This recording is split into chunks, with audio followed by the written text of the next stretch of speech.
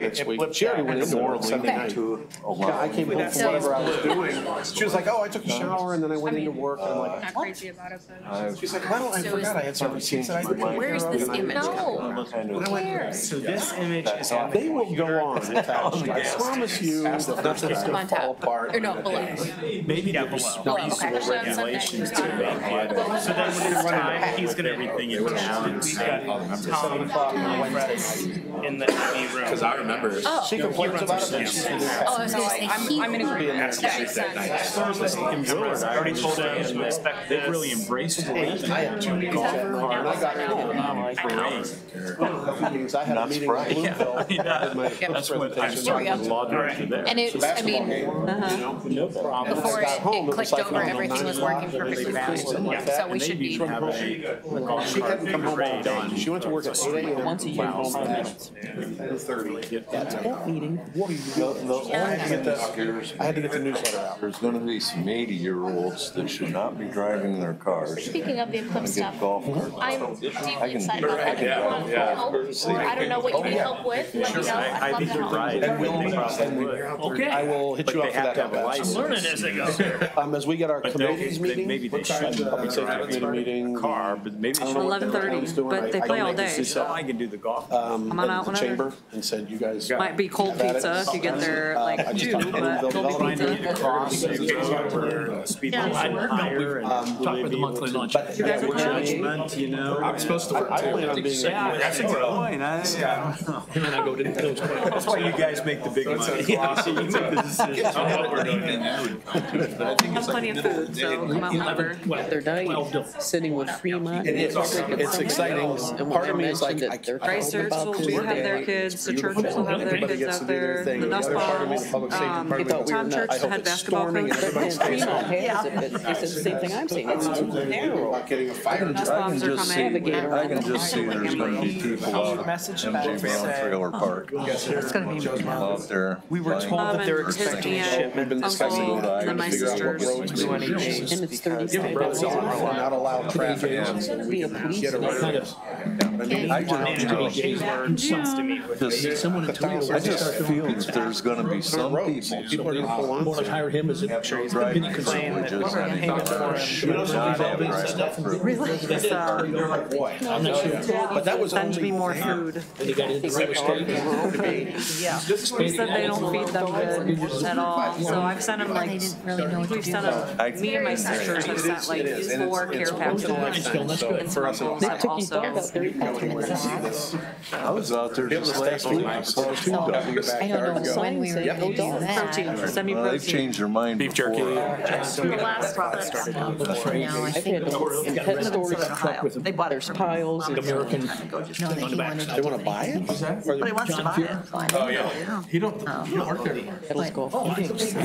Hobbled around too. I can't imagine him. He worked there. You're- He did like almost forty hours at each. Forty hours at, uh. They wanna buy it in order to do that? I don't really actually went in. He had a special they want to day use it for the, um, and had it checked at the sheriff's department. Seven PM, I'd like to call the Tiffin City Council Monday, April uh, 3rd, 2023 meeting to order. The invocation and pledge of allegiance will be led by Councilmember Perry. Please join me in the Lord's Prayer. Our Father, who art in heaven, hallowed be thy name. Thy kingdom come, thy will be done, On earth as it is in heaven. Give us this day our daily bread, and forgive us our trespasses, as we forgive those who trespass against us.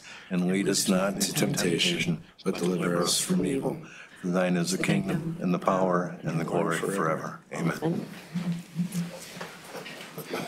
I pledge allegiance to the flag of the United States of America and to the republic for which it stands, one nation, under God, indivisible, with liberty and justice for all. Councilmember Perry, I will ask the clerk to call the roll, please. Councilmember Perry. Here. Councilmember Reesner. Here. Councilmember Spar. Here. Councilmember Thacker. Here. Councilmember Wilkins. Here. Councilmember Jones. Present. Councilmember Leverett. Here. Let the record show all seven members of council are in attendance. Um, Minutes from March 20th, 2023, regular and committee of the whole meetings were distributed. Does anyone have any corrections, uh, deletions, comments? And the minutes will stand approved as presented.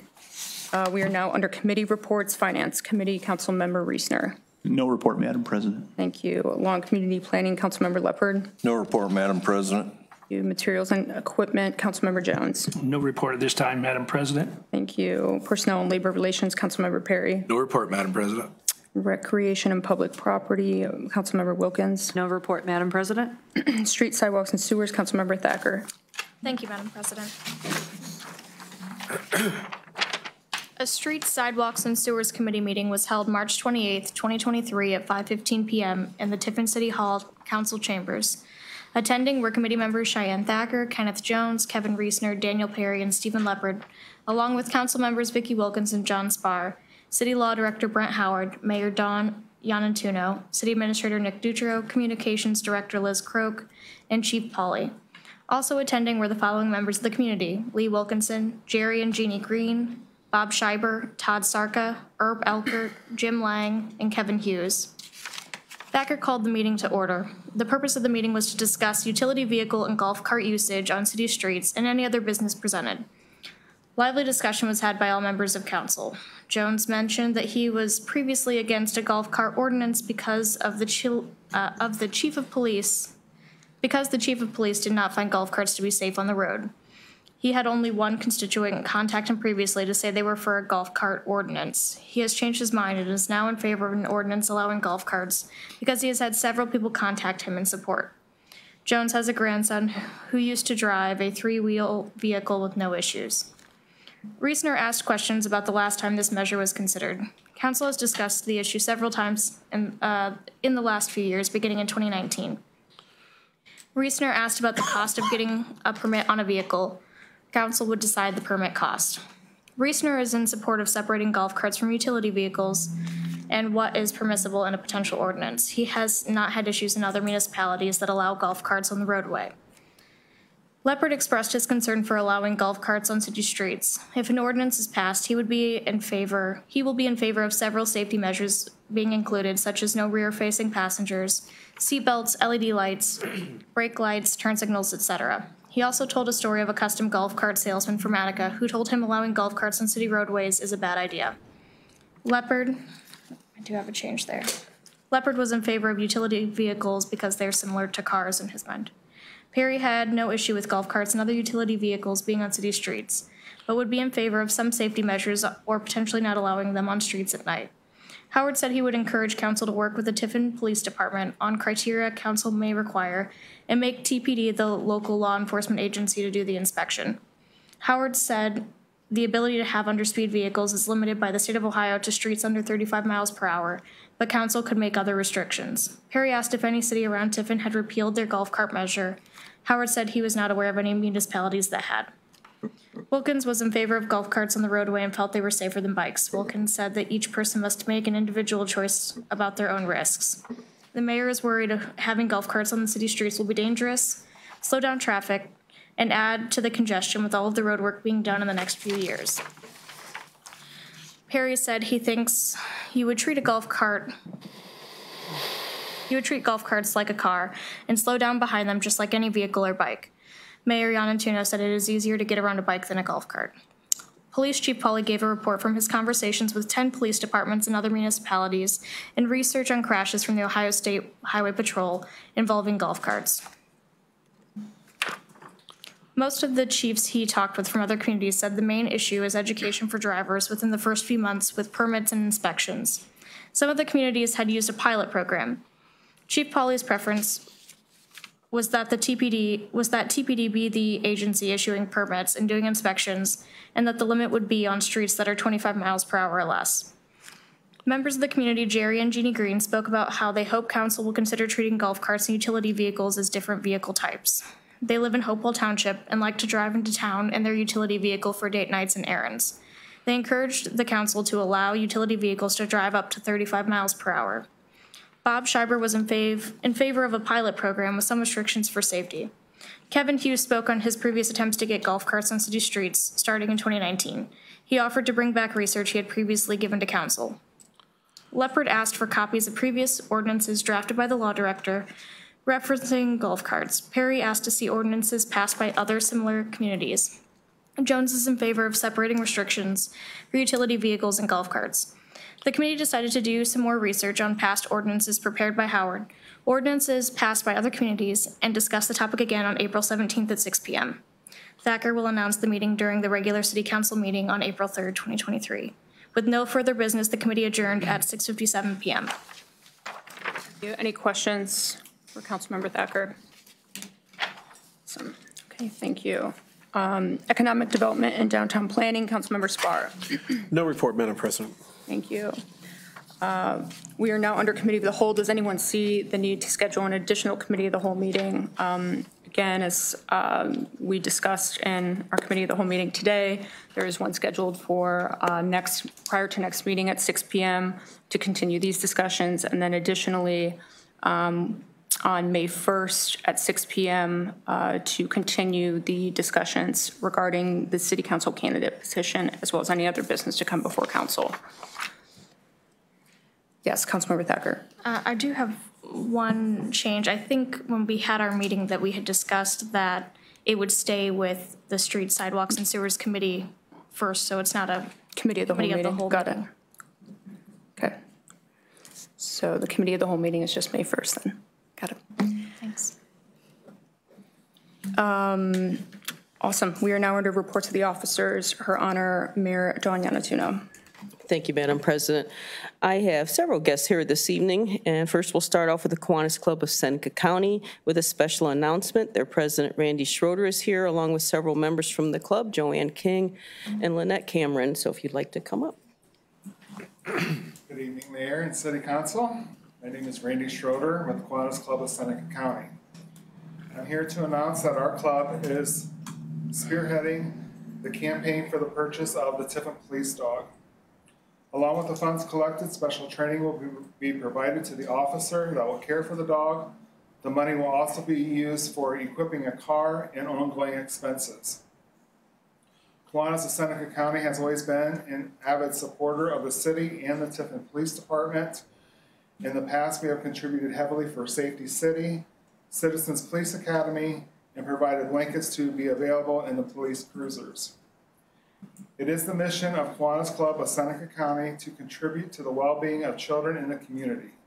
We feel this project will be beneficial to children to assist in detecting drugs and getting them off the street to, for our youth, so our youth are less vulnerable. It will also assist in the unfortunate event that a child in the community is missing. The dog will also be used in the schools for detecting drugs and presentations will be made for our local children. We are super excited to be an instrumental part of this fundraiser. It is our goal to raise a minimum of ten thousand dollars for this project and hopefully exceed it. We will be displaying a bone with updated amounts collected at the fundraisers as the fundraiser takes um, in funds. Our first campaign will be asking the community to donate towards this worthwhile cause. There will be several avenues for people to donate. We will have Venmo and Zelle accounts established so people can donate with direct deposit. If a handwritten check is desired, it can be dropped off or mailed to 23 South Washington Street, which is the office of Century 21 Bolte Real Estate. And we are also discussing T-shirt sales to raise funds. Of Seneca County is kicking off this fundraiser by donating $1,000 and will be applying for a matching grant from the Kiwanis Children's Fund.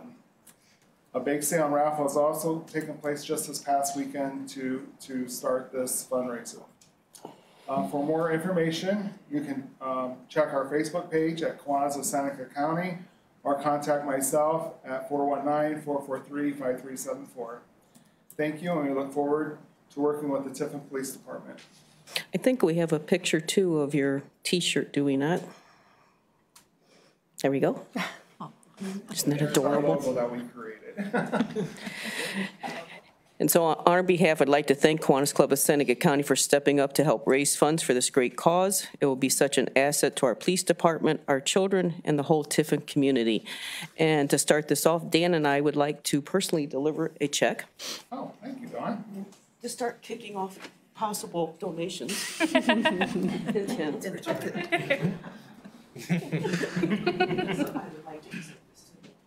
Thank you. Liz, this is our police officer in training for the canines. Thank you. Appreciate it. Can I take a picture? I was gonna- just gonna say. can I take a oh,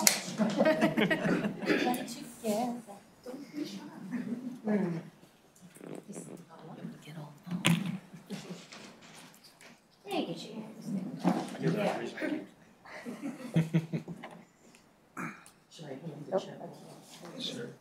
Ready?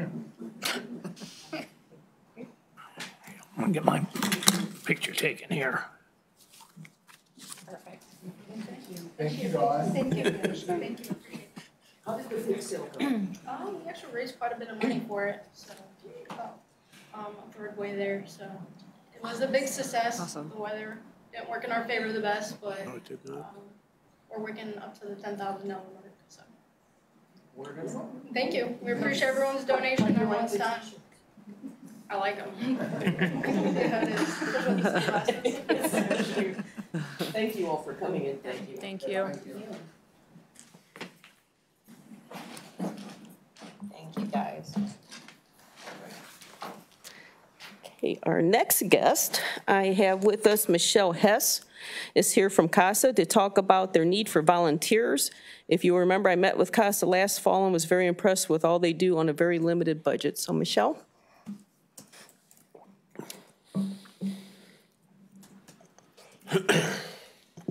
Thank you. Good evening, everyone. I will promise to be quick. I know getting late in the evening. Um, my name is Michelle Hess. I'm the Tri-County Assistant for CASA of Seneca, Sandusky, and Wyandot counties. For those that don't know what that program is, um, our nonprofit has been around in Seneca County for 32 years. And no, we do not sell tacos. We have gotten those calls before. Not wrong CASA. Um, so our CASA stands for Court Appointed Special Advocates, and we're a nonprofit agency that trains people in the community to advocate for abused, neglected kids in court. So how we come about that situation is Children's Services will get a report that something's, something's going on with the family. They'll go and investigate that. If they find that that family needs some court intervention, they'll file that proper paperwork to get that family in court, in front of the juvenile court judge. Um, for those that have never been around that situation, in that courtroom, you're going to have parents or caregivers with their attorneys. You're going to have children's services caseworker with their attorney, um, and they're all kind of in that courtroom trying to figure out what's the best situation for this family in order to get them back to the way they found them. So we don't really have anyone there that's on the side of the child and speaking for what is specifically best for them. And sometimes they can get lost in, in that situation. So that's why it's great and needed for the CASA volunteers to be there. They, the court has the option to appoint either a CASA volunteer or a GAL attorney. And everyone knows that attorneys are paid quite a pretty penny. Um, so that, in fact that the CASA program is here, we save the county thousands upon thousands of tax dollars um, by just having our volunteers do this. And we cover a whole bunch of training with our volunteers. They don't need to have any prior education in order to become a CASA. We cover courtroom procedures, um, um, proper advocacy techniques, um, trauma that all these children are, in, are enduring. Um, any situation that they may come across with a child because you know they're investigating this. Um, that's what the judge has asked them to do in order to get this proper information in front of them so our volunteers are going and getting police records hospital records on the children um, school records you name it. We're allowed to have access to all that information. Um, we're also visiting with the family trying to get a good general background of what's going on. And then we're actually talking to the child and asking them what they want and that is super, super important for the child. If you think about what they've gone through in their situation where they maybe were moved out of their home into a foster home, um, that's maybe an hour away. They don't have their friends, they don't have their family, their siblings may be separated, and they weren't asked what they wanted out of that entire situation. So when the CASA volunteer and kind of slows things down, you know, what do you want out of this and explains what is going on, you know, that means a lot to the child and that CASA volunteer is super important to them that becomes a dependable person. So because they've built that important relationship, they then let them know what they want out of this situation that maybe they weren't trusting other adults um, in this very traumatic time in their life. So that's why it's super important to, to build that rapport with the child. Um, so we're informing the judge not only what we think is in the child's best interest, but what the child wants. Um, Because without that information, the judge is kind of shooting in the dark with information from parents, information from children's services. Um, you can kind of be able to muck through all of those details with the CASA information that gets right down to the nitty gritty. You know, we're volunteers, we're not paid, we don't have a dog in the game. We're just here because we really care about these children and want them to be in the best possible situation. So again, we cover all that training. Um, with our volunteers. And I really wanted to not only educate you and the public about what CASA is, but talk about our upcoming training, which will be April 5th or 25th. It's a Tuesday evening at 5 p.m. And it's going to take place at our Tiffin Casa office, which is 21 Court Street. Um, we are in dire need of volunteers right now. We are getting hounded a little bit with cases. Um, I know last year our numbers in 2022, we served 283 children in all three of our counties with 59 volunteers. 99 of those children were from Seneca County with 31 volunteers, and 16 children went unserved because we just don't have the volunteers to be able to assign to all the cases. Um, looking at our projected numbers for this year, we're, we're going to come close to that number. Um, COVID has really ramped up um, the cases in all three of the counties that we represent um, because of the mental health and, and everything going on, stressors in people's life. And it kind of just really um, elevated those situations. So, and because of that, we had a trifold of those situations elevating and volunteers decreasing because you know people have so much going on in their life. Um, if you've heard from any program that recruits volunteers it is a struggle. It is a struggle to get people to volunteer because there's so much going on in people's lives and you're always bombarded with we need we need we need. Um, so I hate being that person, but we really do need the volunteers, um, especially for this this training in all three of our counties. Um, there's kids in in Seneca County that desperately need um, people to be there for them, and I just hope that you guys can help us spread the word and we can get a super great training going. And so again, it's April 25th. Yes. And what was the time again? 5 p.m. And that's not really like the first start of our training. That's just the meet and greet. So anyone that's interested will come out, um, ask any questions they have about volunteering, um, talk to the staff, and then we set our five-week training course that night to make sure it works with everyone's schedule. Any questions for Michelle? Councilman Jones. I I have, keep talking about children, and when I hear the word children, I'm thinking very young. What age group do you work with? Is, or is it limited to a, Nope, we have birth all the way till 18. oh, okay, well, all right, thank you. Hmm. Councilmember Thacker. Do you have a call out on social media or something that we could help share? Or do you have flyers that we could help pass out or, you know, other ways that we can get the word out so we can make sure that we help you? yes, I have flyers and our social media going. I can get that to whoever needs that. Yeah, that would be great. We, the city's account did post that, Okay. uh, training. All right, I'll share it from there too. Okay, great. Thank you, I appreciate that. Councilmember Perry. I just had a question. Um, if somebody were to volunteer, um, obviously everybody's schedules are different. Do you have some volunteers that can do like a case a year and some that can handle more, I'm guessing? Or, I mean, do you like set a schedule out? How do you, how do you handle? We honestly let it up to the volunteer. We're kind of at their mercy Okay, yeah. um, because they're the ones doing all this work uh, for no pay. So if they're the type of person that's like, I just want one case at a time, then that's all that we give them. Um, if they're a type of volunteer that's a really go-getter and can handle five cases at a time, we do have volunteers that do that. We have volunteers that swear into multiple counties, um, take cases in uh, all three counties. Um, we have volunteers that are kind of duos. We have marriage um, volunteers. So um, maybe one of the spouses can't go to court because their job just has that restriction and the other spouse can. So they'll work that case together, be talking to the family members together, but the one will go to court um, because they can make that work. Uh, we have volunteers from all walks of life, any job uh, out there. We have nurses, teachers, um, retired people, students in college. Um, we welcome everyone because our stu- our students, our kids are from all walks of life. So we need volunteers that represent those kids and that they can be that positive role model and, and know that they can get out of this situation that they're in. Mhm. And for, Councilmember oh, go ahead. Um, how long, um, how long is a case? How long does it take to get through a case, average? I'm sure it's different. It's hard to say average-wise. Uh, We ask that our volunteers commit to two years because, um, for those that don't know, in the juvenile court, they, when you have a case open, um, they give the family two years. Well, I take that back. They give the family a year to be able to address the situation that was brought before them. And within that year, if they're making progress, they will give them two six-month extensions. Um, If in that time frame things just have not worked out and the children cannot return safely home, they'll find a different placement for them, whether that be with other family members um, or be adopted if, if that's what is needed to happen. It doesn't mean that the case will last that long. We've had cases that are a couple months because the family was able to really, you know, knock out those issues that were brought before the court. Thank you. Thank you. I just have one more curiosity question. Have you ever had a, um, a volunteer, um, that ended up fostering or adopting, uh, one of the cases that they're on, or is that probably against?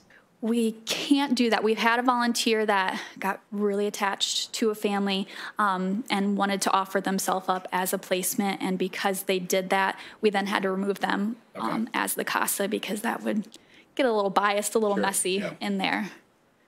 And I know, I don't know if anyone has this question, I may not have mentioned it. The average um, timeframe that the volunteers spend a month is about five to eight hours on a case.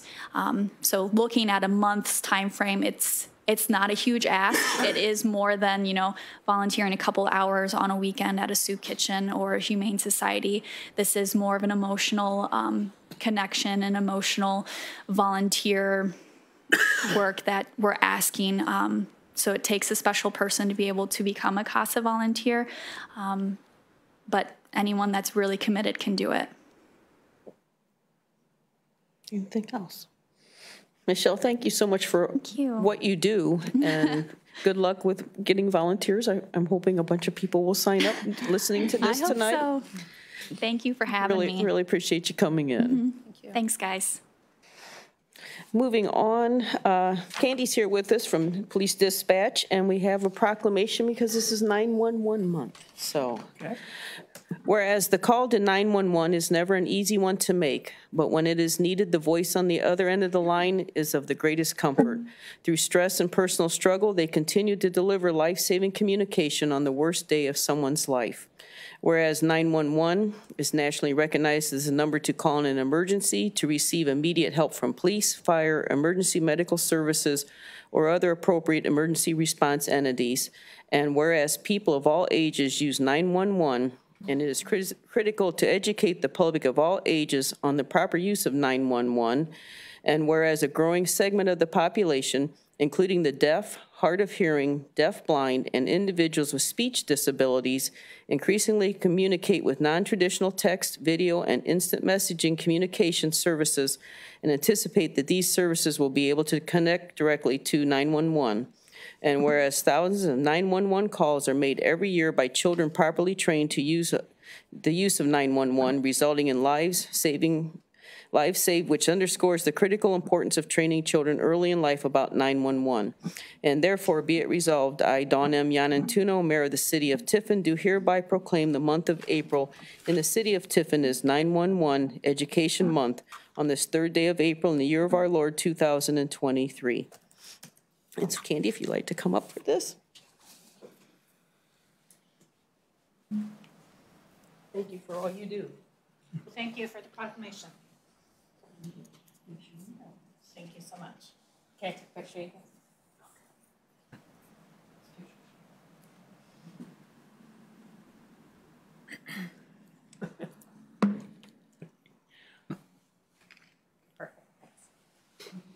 Thanks.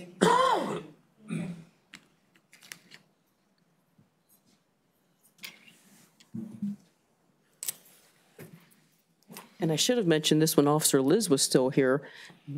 The cell phones are hands-free only starting tomorrow. So doesn't matter if you got it up here or not, they can pull you over. It's a warning for now. Six months, it goes into effect. It's a lot to be on your ear, right? Nope. Oh, on, in the ear? Yeah, you're that- allowed to that- hold it to your, No, you can't hold it to oh, your ear. really? That's not, I didn't, okay, I'm- I misunderstood that. It has to be totally hands-free. Hmm. So just my public service announcement for tonight.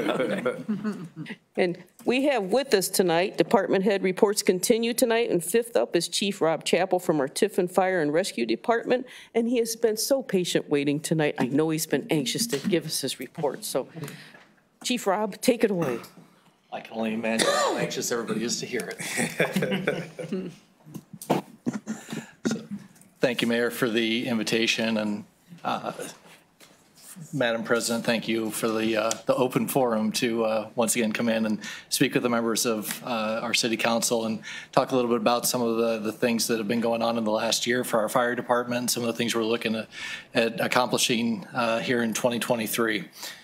So uh, one of the things that we had put together uh, towards the end of last year, albeit on a budget, um, was a promotional video highlighting uh, the Tiffin Fire Rescue Division, uh, primarily aimed at uh, a recruitment effort, but, but also still educational for the community to help them understand more about what we do and how we do it. Um, We, we wanted to bring in Morgan Freeman for like a voiceover.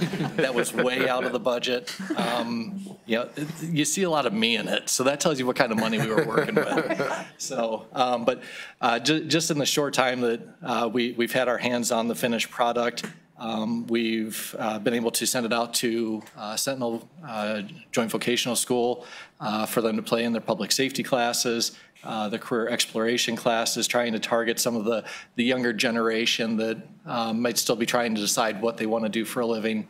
Um, It's been on our social media.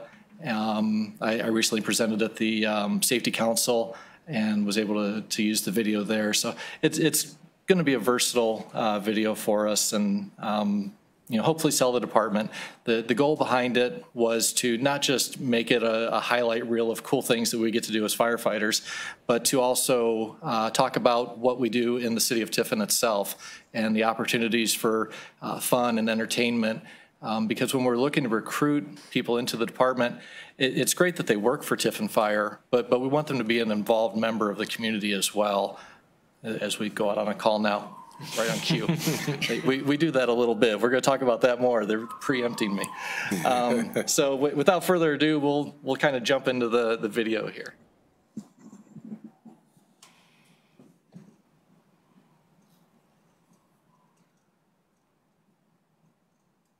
Oh, did we mute?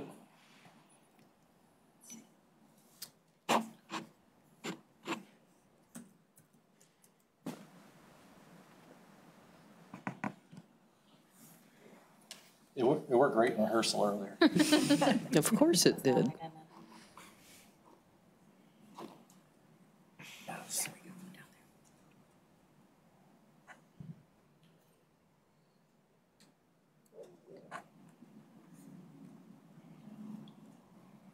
All right, we'll try again. All right. Take two.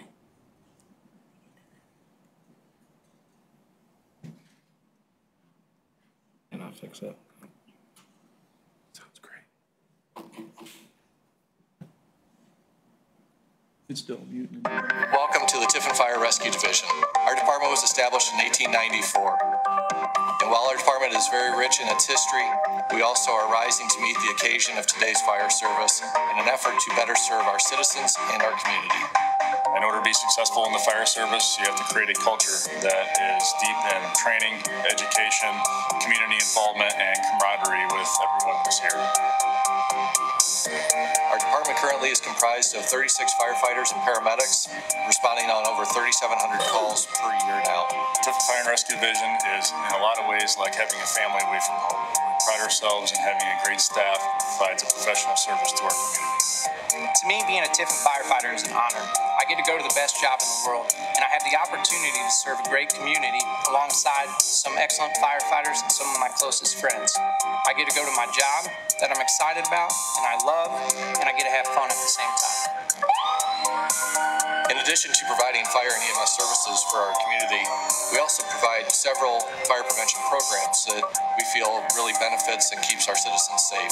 Being an education community, we pride ourselves in being a pillar in educating the public through different public education programs, not only for just young children, but for adolescents and adults as well.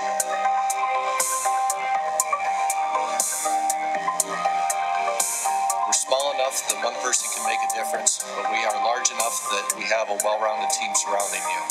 And whether it's going out, participating in preschool visits, or working with college resident advisors, or participating in parades or other downtown activities, there's always something to do here to engage with the community, and they engage right back with us. As someone who did not grow up in the city of Tiffin, there were a lot of things that drew me to the Tiffin Fire and Rescue Division. Not only the department itself, but everything the community offers. The community is extremely proactive in all kinds of different activities for both families and individuals.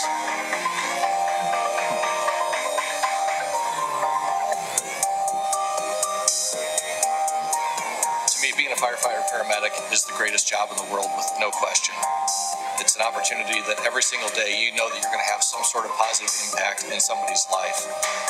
The people that we have working here with us at Tiffin Fire Rescue are some of the best in the area, and I couldn't be more proud to work with them day in and day out.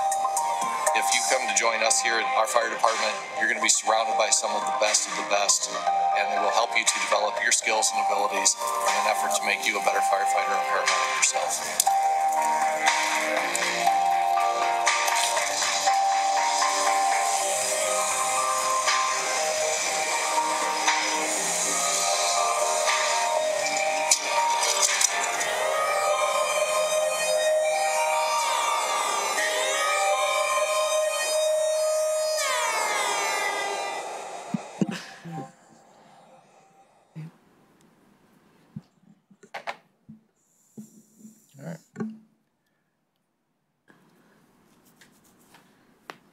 So that's the, the promo video. Um, I don't know, I, I thought it turned out pretty cool, but I'm, I'm not really an expert at evaluating these things. Um, So, yeah, we, we certainly hope to be using that video a, a lot more. And uh, it's just an exciting thing for, for the department to have. We've never really done anything like that. And uh, there, there are departments around the country that have started using uh, things such as that to, to try and help with their recruitment efforts as well. And um, I just, again, thought it did a nice job of highlighting both the department and the city, so. um, So some things that we did uh, last year, uh, to, to kind of recap, um, participated in the Tiffin City Schools REACH program uh, with Mrs. Hall's class at Noble. Um, That was uh, certainly a a unique and fun experience for me, not having uh, worked with that age group in a while. But uh, yeah, fourth graders, wow. Um, God bless Mrs. Hall. Uh, We also uh, worked along with Tiffin Police and uh, Jill Goshi and her team uh, with the Handle with, Handle with Care program. Uh, We actually were able to uh, utilize that on a couple different occasions.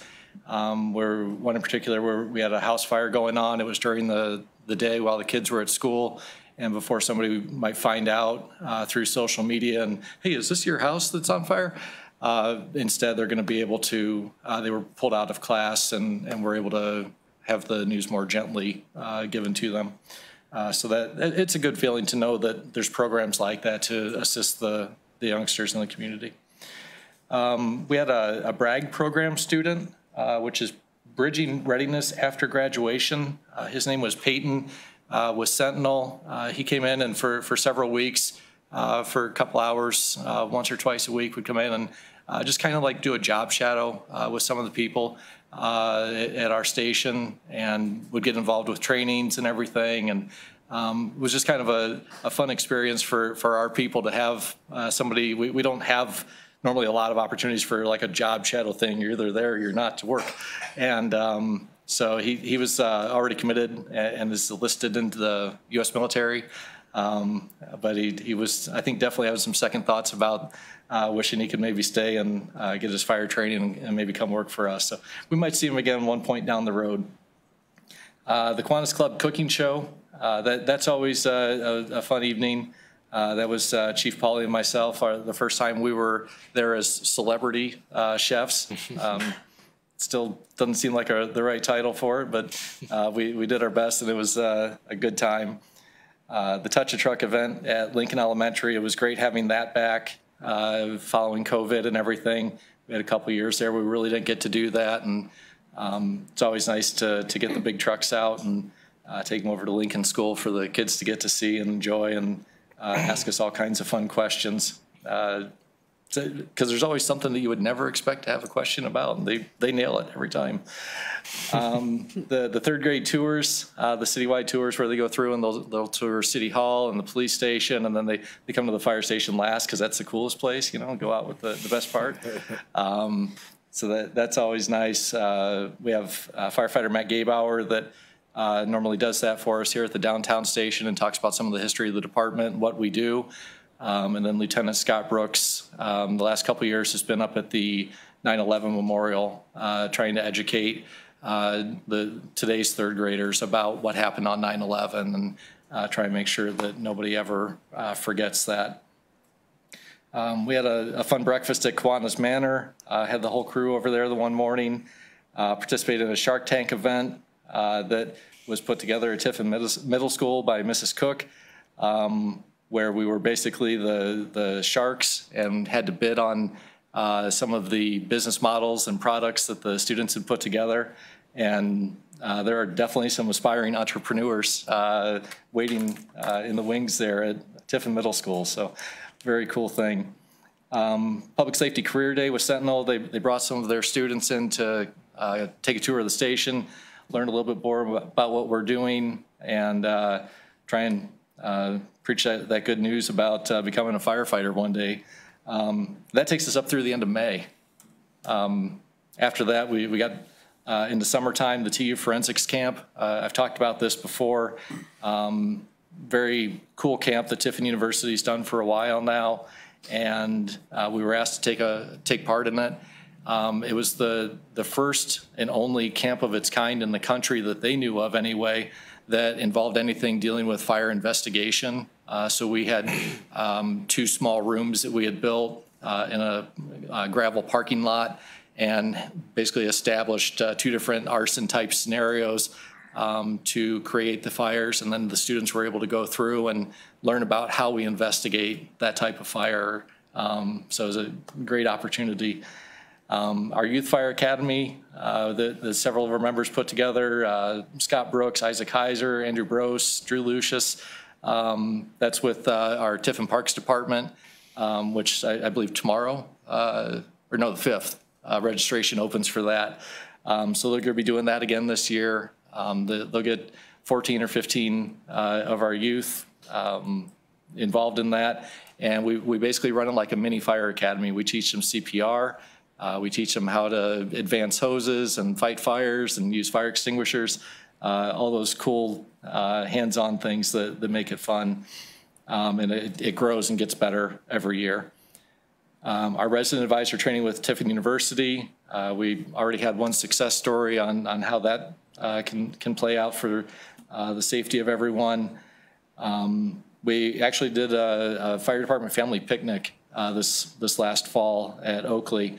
Um, something that I had really been wanting to do uh, a lot more than I'd let on uh, for the last couple years. And uh, it, it, was just a really, really cool experience getting everybody together um, and reminding myself that, wow, I am getting old because all these guys have young kids now. And, you know, I, here I am with my teenager. It's, it's not fun.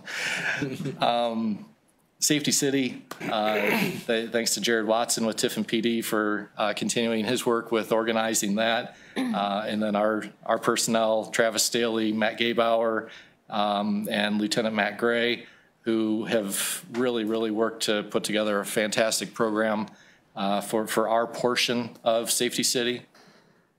Uh, the Get Out to Walk event at Washington Elementary is always a good time. Uh, again, listen to those uh, young elementary age uh, school students with, with, their questions for us. Uh, the downtown trick or treat event and the parade uh, that, that, we did the year before was a lot of fun. Um, the CERT class uh, that was being held out at the public safety building had reached out to us about staging. they have like a mock disaster drill that they, they have to complete towards the end of that. They asked if we'd be interested in assisting, and uh, I think we put together a pretty good evolution for them, and um, eh, we had some, some good people to, to assist with that. Uh, And then senior bingo events, um, we, we, we're doing the uh, uh, car bingo uh, out at the Willows. We've been out to Commission on Aging for uh, the, the senior bingo there. Just trying to be out and interact with the public. Um, To me, I, I understand that the fire department is just a, an expensive insurance policy that the city provides to all of its citizens. But I, I think we can do better than that. I think we should be out in the public, interacting with everyone and letting them know who it is that, you know, could be showing up. We don't necessarily need you to remember our names or anything like that, but, you know, it, it shouldn't necessarily always be the first time that a lot of these people are ever seeing us. Um, you know, let, let's get out there, let's be involved in the community that, that supports us and makes the, the job possible. So some of our highlights uh, from last year, uh, we implemented a new record management system. I know that doesn't sound really exciting, but it, um, it- it's allowing us to pull a lot of our resources that uh, we have to track, not, not just our EMS reporting and fire reporting, but also our fire inspections, our training, uh, daily truck checks, uh, daily and weekly uh, med box checks, all the different little bits and pieces of records that we create within the department that we have to be able to manage. And previously, they was kind of just spread out among several different platforms. Um, And with, with the new vendor, we're able to kind of bring everything back under one umbrella. And it's, it's really helping us as we move forward through the implementation to uh, do a better job of, of tracking all that. Uh, We accepted a- an Assistance to Firefighter Grant Award uh, from FEMA for RIT packs. Um, I I was in earlier when, uh, that money was uh, sent to us, uh, the Rapid Intervention packs, that in the event of a downed firefighter is what they're primarily aimed at um, assisting with. We keep these, we'll have two of them. They're- We're still waiting for them to be shipped. Um, One for like a residential uh, house fire, another that would be for larger commercial occupancies, that uh, it's right there with everything we need to grab and go and send in with uh, two personnel typically to affect the rescue of a downed firefighter uh, at uh, an emergency scene. We did a review of our uh, EMS billing processes, uh, everything from looking at the, the company that we've been using for many years and, and kind of evaluating them against other competitors in, in that market. Uh, Decided actually we, we are getting pretty good service and rates from uh, Change Healthcare, and uh, we're, we're happy to continue working with them. Uh, We also looked at what our ambulance billing rates are. Uh, Periodically, Medicare will um, change the billing rates, which we would be eligible to be billing for by ordinance. And as of right now, there, there's uh, no need for any changes to be made. Our, our billing rates are uh, right in line with what CMS will generally reimburse for. Um, And we were also looking at ways to try and increase opportunities for revenue. Um, We, we do a lot of uh, treat on scenes and without ever transporting the patient. And unless we do transport them, we are unable to bill for that service. Um, We, we have diabetic patients that we may go to their house, we'll start an IV, we'll, we'll give them medicine to bring their blood sugar back up. And by the time we're done, they're back to normal, they're, they're feeling good again, which is great, that's the goal. Um, But we incur expenses with, with those supplies, with the personnel costs and the, you know, taking the ambulance there. All those little things start to, to add up, but we aren't able to, to capture any uh, revenue from that service. Um, So we were looking at uh, some opportunities that could possibly exist. Um, But right now, uh, with current language in ORC, there just really aren't a whole lot of avenues for that. Um, But we're going to, you know, continue watching for those and, and make changes as necessary. Uh, We ordered a new ambulance in 2022, and no, this is not the one that we just did the push-in ceremony for. Um, The, that ambulance was ordered February of 2022, so a little over a year ago now, and we're expecting delivery of it probably by February of 2024. Um, There are, uh, dare I say, obscene uh, lead times for, for ambulances and, and vehicles of that sort right now, partially because of uh, the chassis shortages, uh, but also because there's uh, so much federal stimulus money that is out there that the demand for ambulances is just well beyond the capacity that manufacturers have to produce them. Uh, So supply and demand, basic economics 101 tells you prices are going up, lead times are also going up, um, but at least we're in line uh, for one. The, the goal will be that we will uh, be maintaining four ambulances instead of just three. Uh, And as we get more into the call volume stuff here shortly, uh, you'll, you'll start to hopefully understand the, the need for that. We had a uh, walk-in sudden inspection, you know, business owners may not like it when we walk in to do fire inspections, but when I get pulled out of a training by Amanda, our administrative assistant, and she says, hey, uh, Board of Pharmacy's here for an inspection, that is one way, if you're ever trying to get the fire chief's attention, you will get it right now. Uh, Board of Pharmacy is a pretty big deal in our little world. Um, You know, if, if they were to decide we were uh, not doing adequate uh, work, then they, they do have full authority to shut us down, uh, thereby shutting EMS down in the city. Um, So we, we do take that very seriously, and um, I'm happy to report that we went through the entire impromptu inspection with no real red flags raised. They had a couple requests for documentation that we were able to provide over the next week, and uh, they were very content with all of our uh, processes and storage and everything that we do uh, relating to that. And I, I have to give a lot of credit to Captain Mike Steyer uh, for that. He, he's been heading up our uh, EMS medication uh, program for several years now, and, and he really does uh, do a fantastic job with it. And uh, so credit to him on that. Uh, When Dr. Fitzpatrick, who had been an ER physician out at Mercy Hospital for many years, retired, um, the state no longer allowed for him to continue on as our medical director. Um, And neither he nor we were aware immediately that when he said that he was stepping away from actively practicing as an ER physician, that that meant that we immediately no longer had a medical director. Um, So we uh, had very quickly reached out to the Northwest Ohio EMS Symposium, which is uh, a, a, or consortium, I'm sorry, consortium, not symposium, uh, that has, uh, they, they provide services for over 80 different departments, as I understand it, throughout Northwest Ohio, including Seneca County EMS now.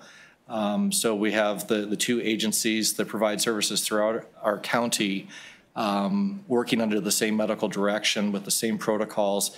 It, it helps keep things very fluid so that if we do end up on a larger incident, everybody's playing out of the same playbook essentially. Um, Dr. Sauber, uh, who actually has ties back to New Riegel, um, was very excited to be able to work with our department. Uh, he's he's uh, voiced on several occasions his uh, enthusiasm for the things that we're doing and um, is definitely uh, enjoying, I think, working with us as much as we are working with him. So pretty cool there. Um, We re- re-implemented, I suppose that's really a word, uh, a chaplain program. Um, For, for many years, when I was new with the department, we had Father Dave Ross uh, from St. Mary's that was our chaplain, and he he was amazing. Um, When he took the transfer over to Lima, um, we kind of just never, it- it- I think it- it might have been they just left such big shoes to fill that we just never really found anybody else. And uh, last summer, um, George Morgan, who retired uh, from our department, um, he reached out and said, hey, you know, I, I would really be interested in, you know, kind of doing some of that. Uh, George is a wonderful person of faith. Uh, He not only knows this job, but he knows our department. And it, I, I could not think of a, a better, more qualified person in this world to probably step in and uh, offer that service to our members than George. And I'm just, uh, I'll be eternally grateful to him for, for making that offer uh, on his own. Um, And he's, he's already been, been there for us on several occasions. Um, We did a training fire on Tiffin University's campus uh, that was actually kind of highlighted in some of the video. Um, Mayor was there for that. Uh, The Tiffin University Drone Academy wa- was there. Um, So we, we had a lot of different trainings going on all simultaneously. Um, But it, it was a, a great learning experience for, for us as well. Uh, Every other year, we do a paramedic refresher class in-house. Um, One of the, the nice things about that is we can kind of work at our own pace and develop a curriculum based off of um, what, uh, in, in this case, our deputy chief, Mike Homan, uh, identifies as areas that maybe we need a little bit more time spent with or, or things that we can improve upon. And uh, he put together the program and, and did the, the bulk of the legwork. We, we have other instructors on the crews that were able to uh, assist with some of the instruction as well. And it's, it's nice because it's not the same person teaching every single day and um, it, it just helps to make it a little bit more diverse and it, it's a, it's a good thing. It's required. We have to keep the certifications up, so. Um, We also launched a YouTube page. I know we're just a fire department, but we are really getting this technology thing down. We're we're up to YouTube now. We're going to skip MySpace, but YouTube we're at. So um, they- right now, if- if, as a member of the public, if anybody was to go to our YouTube page, you would only see the promotional video that uh, I started this presentation with. What its real purpose serves is for in-house use. Um, A lot of our personnel uh, have taken their own initiatives and are filming training videos. Here's some basic knots. Here's how you tie the knot. This is what you use it for. Here's how we can advance a hose down a hallway. Here's how we could advance hose up a stairwell. And we're, we're putting all that stuff on video, which then uh, one of our firefighters, Nick Houston, is then editing and making a cool little intro thing for. Um, and then that gets posted on uh, our YouTube site. So then members of our department, whenever they feel the need, can go and review any of these training videos and, and learn, uh, again, when it's convenient for them. Um, You know, the, starting a chainsaw. Uh, For, for some of us, that might be the easiest thing in the world. We might do it all the time. Other people, they, they may not touch a chainsaw but once or twice a year. Um, And they, they may forget exactly how to put the choke on the right position after you've, you know, it started to turn over. Well, here's a chance now that when nobody else can see them, they can go and watch this video and refresh on that so that they can feel good about it and not have to worry about being embarrassed in front of the, the whole, whole group there. So, kind of a cool thing. Uh, We also had a new collective bargaining agreement established. Uh, This will run through the end of 2025 now. Um, It, it was a, a unique experience, my first time uh, being uh, the fire chief that we, we've, uh, was- I was on that side of the table and, um, but I, I think we were able to put together a pretty good contract that uh, not only helps the department, but uh, is, is something beneficial to the city as well. So in '22, we- we obviously had a lot of really fun and exciting things happen, but uh, we did say goodbye to um, some, some really dear members of our department. Uh, Joe Sugar, who served with Tiffin EMS for uh, many years, um, he, he passed away, and um, it- he was always, I, I never got to work with Joe, but uh, the, the- the people that I, I work with currently that did work with him uh, spoke very, very highly of him. Uh, Chief Tom Huss, um, who was chief here for 17 years, 17, 18 years.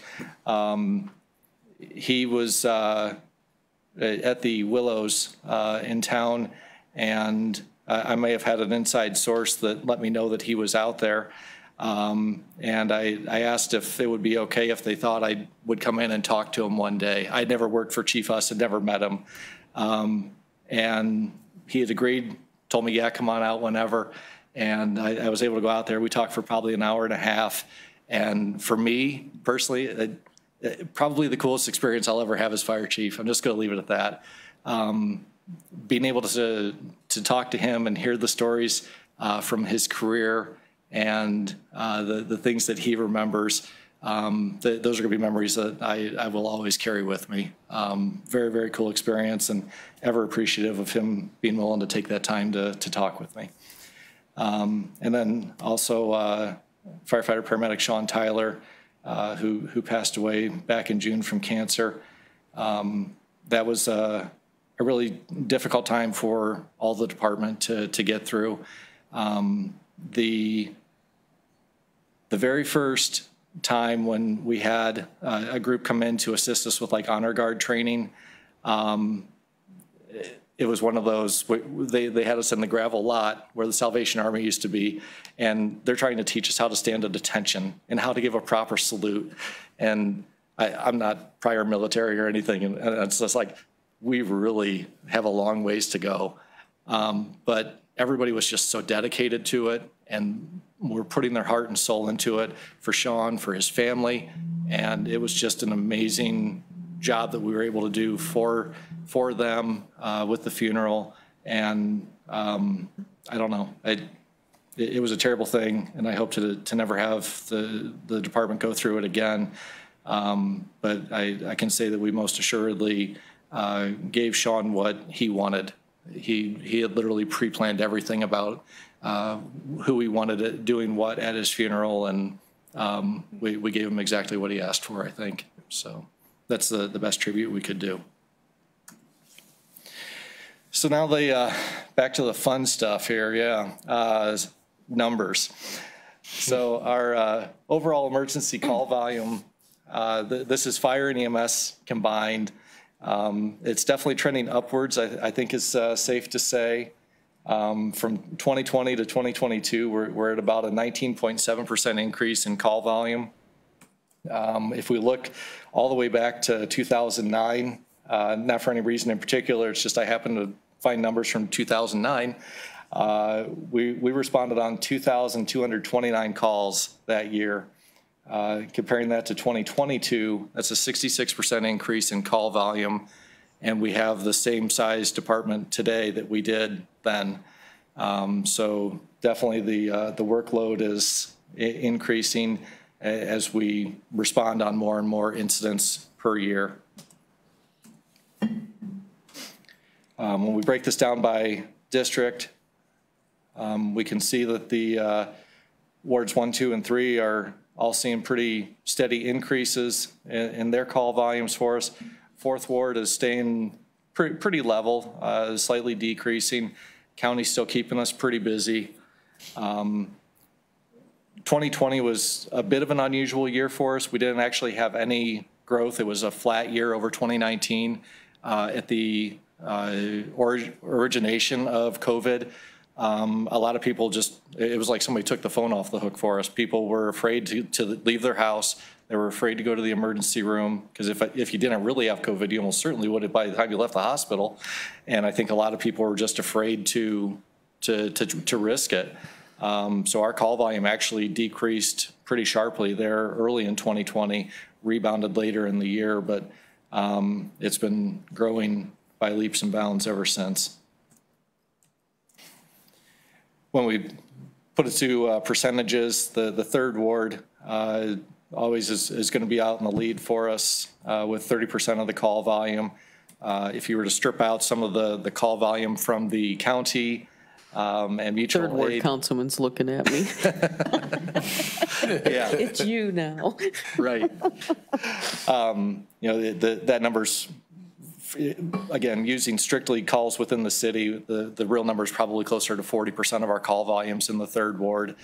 Um, Not only is it the busiest area for us, it's also the longest one to get to, um, coming from the downtown station. EMS calls, uh, with that being the majority of our, our business, we um, can also see the, the increase in EMS calls for service. So looking at our staffing, um, th- this was a big thing that I talked about in last year's presentation and how we were trying to bolster uh, recruiting and retention efforts.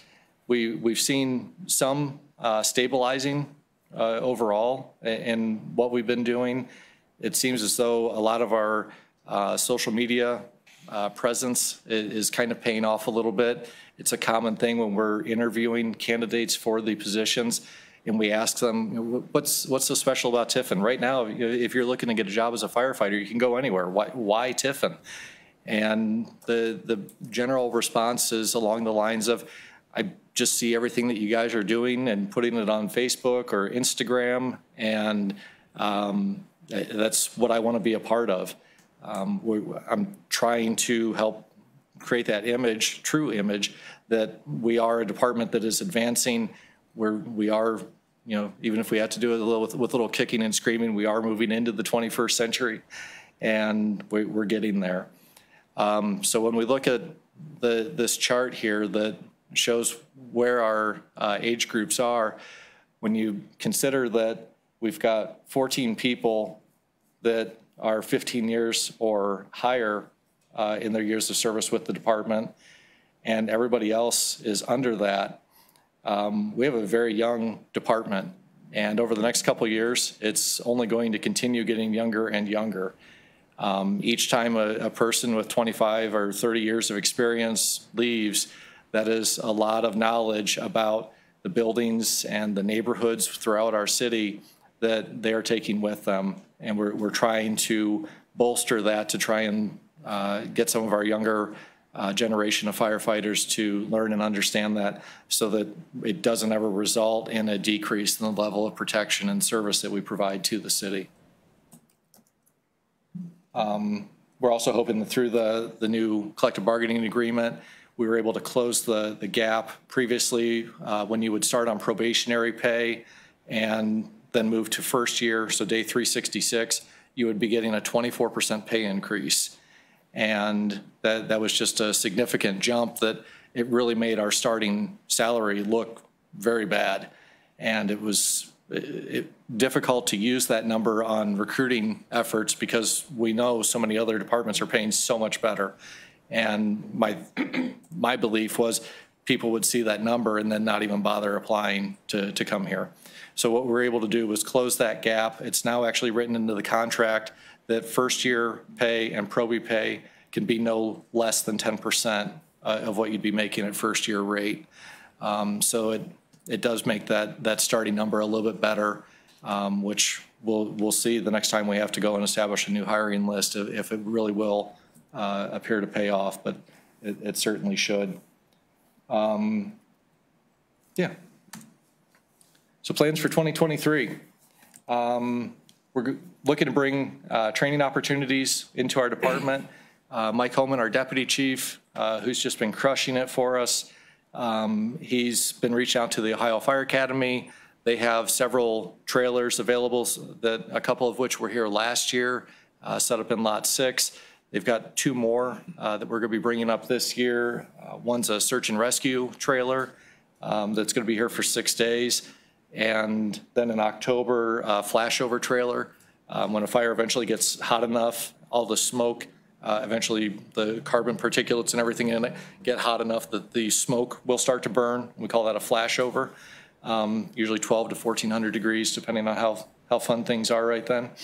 Um, but so we, we're going to have those two additional trailers.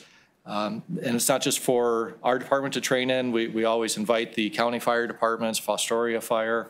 Um, we, we want it to be a, a, an asset to the departments throughout the county that uh, can hopefully benefit. And it gives us an opportunity to train alongside them as well. So we all kind of know each other a little bit better. Um, one thing I didn't include on the slide because it was kind of a last minute uh, addition um, I've talked about our ambulance that had the engine that, that blew up in it. Uh, not quite like Hollywood blow up, but head gasket went out in it, possibly, we think. Um, it's been out at Tiffin Ford since uh, October. Just got a call uh, at the end of last week that the new motor has finally arrived and uh, they're, they're putting a rush on it to try and get that put back together for us and back in service uh, so that hopefully we'll be back to that fourth ambulance sooner rather than later. Um, and that will be a, a, tremendous benefit to us and, and, make me sleep a little bit better at night. So. Chief, do you uh, want to tell them the process? Because you mentioned how chassis are not available. Do you want to tell mm. them what happened with that particular engine that day? Uh, yeah, so I had a phone call uh, from Jim Distel, uh, the service manager out there, that um, saying that, hey, yeah, the uh, the motor just arrived. I've never seen anything shipped quite like this we had to sign a document from Ford saying that it's uh, it, this motor with this number is going into this ambulance with this VIN number. If it's not, we're not sending it to you. Um, and it, he's like, I, have they've never made us do anything like that before. It was uh, supposedly photographed as it was leaving the plant in Michigan, and then again when it arrived here in Tiffin. I asked if there was like any black SUVs that were escorting it here as well. Um, I, I hope the answer was yes, because I really want that motor in this ambulance. Um, But yeah, it's, it's uh, kind of a, a tough thing to come by right now, apparently still. And I'm just very, very thankful that it's here. It'll be great to have that ambulance back in service for us. Um, The April 8th, 2024 solar eclipse, we're, we're definitely going to be doing some planning and preparation for that. Um, March of next year will not be the ideal time to start that process. Um, So definitely uh, mark that date on your calendar, circle it, and um, it, it could be interesting. Uh, If you're, if you're not a fan of big crowds, uh, pray for rainy weather, I think is the best thing we can do. We applied for uh, FEMA AFG, uh, again, the Assistance to Firefighter Grant to purchase all new SCBA. Uh, Those are the air packs that we wear into the fires. Uh, The current equipment is 10 years old, two NFPA revisions old. By FEMA standards, it's considered obsolete at this point. Um, It, it still works well, but we are starting to see some mechanical issues here and there, but nothing too bad. Um, But uh, if that grant was approved, it would allow for us to be able to purchase 38 uh, SCBA air packs. Um, And the, the requested dollar amount was $323,000. So we'll, uh, we're definitely keeping our fingers crossed for that. Alleviate the burden on the capital budget if we can pull that one off. Um, Also, more, and more recently, uh, the application period just recently closed for the FEMA Safer Grant. This is a a staffing grant, which we've pursued the last couple of years. Um, we- And unfortunately, we were unsuccessful in those two previous attempts. Uh, This time, we're, we're trying a little different approach, um, and we're actually looking for five positions with that. Um, It would take the department up to the full authorized strength uh, as the city ordinance allows for, which would be 39 firefighters and then the two chiefs. Um, So we would have three crews of 13 with that.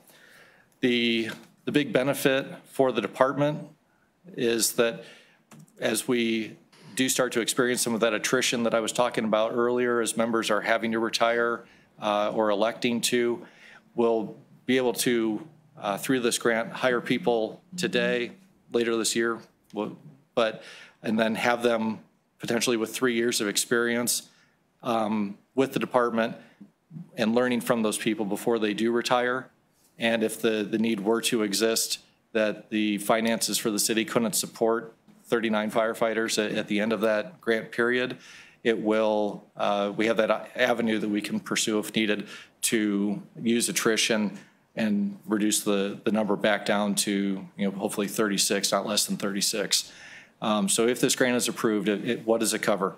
It's three years, all wages, all benefits, pension pickup, everything um, for all five positions. And over three years, it would be $1.61 million uh, that the city could collect uh, from this FEMA grant. So the- this is a big one. Um, Well, uh, it's, it's very competitive, and I, I don't mean to get anybody's hopes up, um, but we're, we're trying at the very least. You can rest assured of that. We're also continuing our efforts on employee wellness. Um, Last year, uh, through the sale of some of our, uh, an old utility pickup truck that we had and some other uh, stuff, uh, we, we kind of had a little GovDeals garage sale, we can call it. And we were able to raise quite a bit of money that, uh, at the time, Mayor Montz and City Administrator Thornton had agreed uh, that rather than that money being allocated back into the city's general fund, it could be appropriated through this council to put into the fire department budget for the purchase of workout equipment. Uh, One of the committees that we had established within the department was to put together a, a plan for workout equipment and with the, the original idea being, it'll probably take us two or three years to make all this happen, so don't get too excited, guys. And, uh, but then we, uh, we did pretty good on, on some of the auction items and we're able to buy all of the equipment. Um, All in, we were just shy of $40,000 in equipment between the two fire stations uh, within a 12-month period that we were able to purchase. Uh, The, the majority of that went here in, in uh, the City Hall building, and it's being used by not just firefighters, but police, the engineer's office. Uh, It's open to all city employees. Um, The, the uh, committee that, that we had, I think, did a phenomenal job of uh, specking out that equipment. Um, And I, I want to give thanks to John Suter, who was kind of the, the chairperson, possibly unofficially, but we're going to give him the title uh, from our department for, for doing that. Um, Along with that, uh, I already talked about the chaplain program that, that we've got back in place. Um, We, after over 20 years of working with Mercy Occupational Health for our annual physicals, have elected to uh, move to a different provider called LifeScan Wellness, that it's actually going to be a three-hour physical that they will perform for us. You'll not only meet with a nurse practitioner to review your blood work and all that, but they'll also have the ability to do ultrasounds, uh, looking for uh, cancers that may be growing within each firefighter. Um, And then also, uh, you'll meet with an exercise physiologist, doing your, your 12 lead and VO max and all those fun things. Um, And then working with you to, if, if you need to lose some weight or increase your flexibility, they, they can give you pointers on all that. Um, NFPA 1582, if you're ever really bored and want to read about the standard for fire department physicals, um, this company checks off all the boxes in there. I'll save you a little bit of time. Um, So we're really excited. This will be our first year using them. They'll be here the first full week of June. And uh, we actually uh, have some of the members from the police department that are going to be included in that as well. They have 45 appointments that they like to fill in the course of the week, and uh, the, the PD was able to have some of their people join in on that as well. Um, So, cool stuff there. Uh, This November 18th, we're welcoming in Frank Viscuso. Um, He's a retired deputy chief from New Jersey. He's been a keynote, keynote speaker at FDIC, which uh, that's the larger, largest firefighter conference in the world out, out in Indianapolis. Um, He, great speaker on leadership. Um, Yeah, everything has like a fire department undertone to it, but anybody that wants to learn about leadership and becoming a better person can really take a lot uh, from him. Um, As as that date gets closer, I'll I'll definitely be uh, getting information to to all of you if you wish to attend. Um, Then, yeah, uh, the- this this last one will probably keep me a little busy. Um, We're going to select an architectural firm for a new fire station. So this has been talked about only since about the mid-1960s, uh, about the time that they finished building Station Two. And, um, but the talk had always been about, let's get a third station. And believe me, I, I think three stations suits this town just fine. The problem is, our department isn't big enough to staff three stations. And I have no interest in being the fire chief as much as I'm sure the mayor has no interest in being the mayor who has to brown out a station because we don't have enough people to staff three fire stations. So in, in terms of trying to be fiscally responsible and realistic, I think for right now, the uh, construction of a new station on the west end, likely, um, and that's one of the things that the architectural firm can assist with, is the actual locating um, uh, of a station. But as we saw with the run volumes in the third ward, it's kind of hard to imagine not having something more towards that end of town.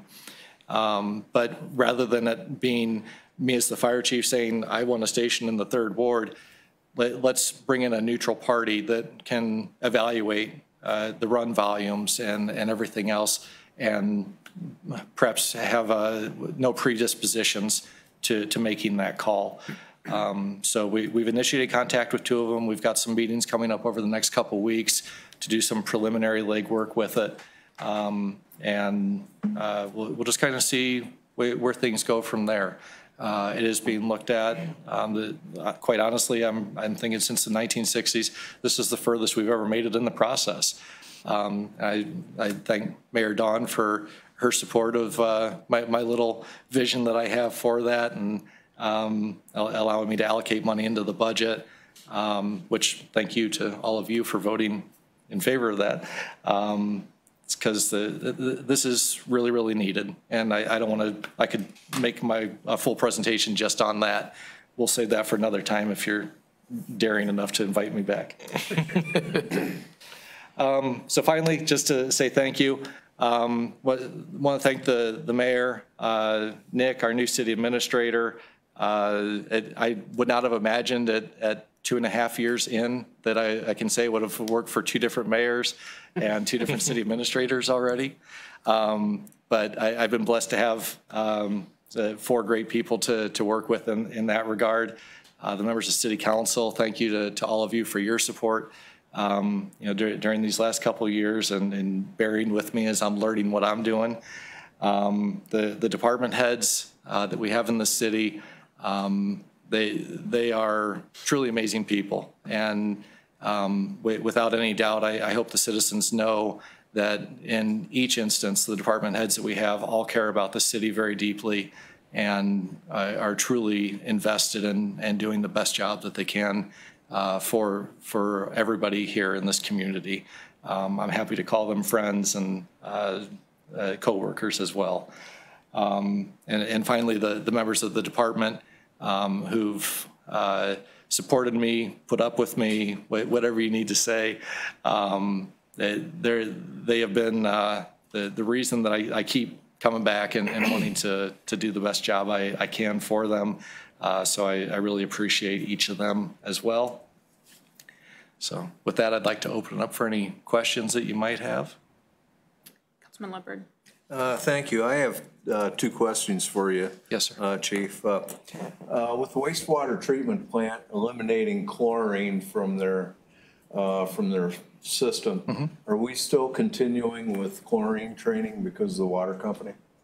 Uh, Not because of the water company any longer. We, we do have periodic trainings that we'll do uh, because there, there's still some chlorine in the area that, that we might deal with, whether it might be the YMCA, Holiday Inn. Um, there- There's still smaller amounts of it that are concerning, but nothing quite like what uh, the WPCC had before. Uh, One thing that was brought to the attention of city council quite a few years ago was the proximity of uh, college students and railroad tracks.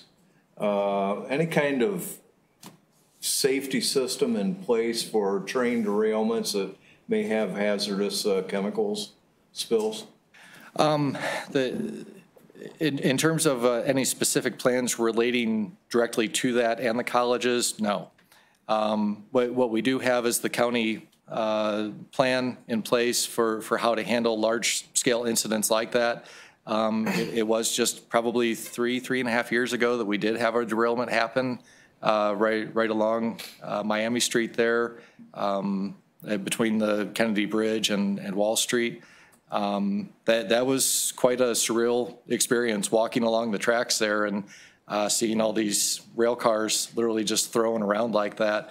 Um, Fortunately, there were no spills. Uh, CSX was on scene remarkably quickly and, and took control of everything. And, um, but yeah, if, if the need were there to escalate, uh, we'd be relying on the, the county plan to start mitigation and any needed evacuations. Um, Tiffin University uh, and, and Heidelberg both have the ability to send out messages to their students through text messages.